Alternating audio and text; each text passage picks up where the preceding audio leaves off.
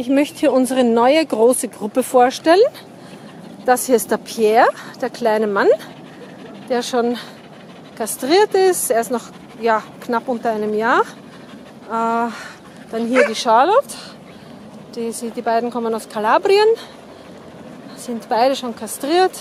Nette junge Hunde, klein, nicht sehr groß. Da ist die Daenerys, unser Althäschen, die keiner will, weil eine nette, jüngere, kleinere Hündin.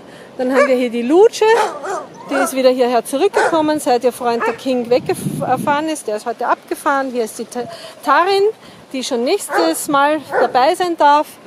Dann haben wir hier noch die Bashful, unser Oldie. Und der Goku, der immer frecher wird. Goku! Ist die Bashful, ist geschorenes Mäuschen. Da geht es ein bisschen besser. Er hat ein ganz verfilztes, schmutziges Fell. Ja, wen haben wir noch? Ah ja, da hier ist der Vito. Der hat schön schön abgenommen. Ein sehr, sehr netter, verträglicher Rüde. Ja, wie gesagt, also neun Hunde laufen hier herum. Der Chiro ist auch wo. Hier ist der Chiro. Er hält sich immer ein bisschen abseits. Er möchte lieber Menschen als andere Hunde, gell, Chiro? Dabei ist er super verträglich und ein sehr netter, folgsamer. Na komm her, Chiro. Ach, da schreckt ihn jetzt wieder die Kamera, ha? Bist du kamerascheu, Chiro? Nix, mag er nicht.